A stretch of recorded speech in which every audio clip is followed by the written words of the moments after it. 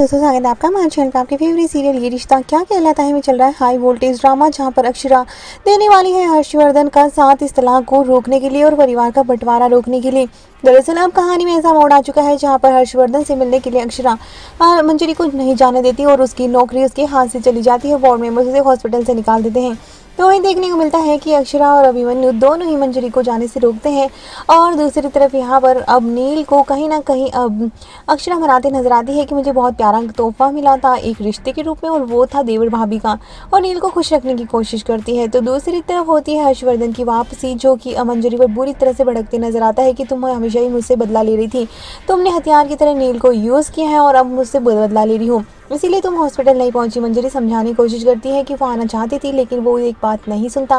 मंजरी गिड़गिड़ाते नज़र आती है और ये सब कुछ अभिमन्यु देख लेता है और भड़क जाता है और कहता है कि आप मेरी माँ को क्या छोड़ेंगे? मेरी माँ आपको छोड़ेगी।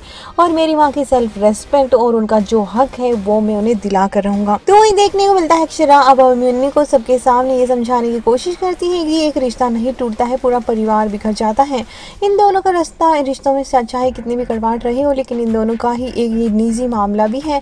हम इनको एडवाइस दे सकते हैं, हम इन दोनों को समझा सकते हैं, इन दोनों के रिश्ते में अच्छाई ला सकते हैं, लेकिन इन तोड़ने का और जोड़ने का इनका डिसीज़न होना चाहिए।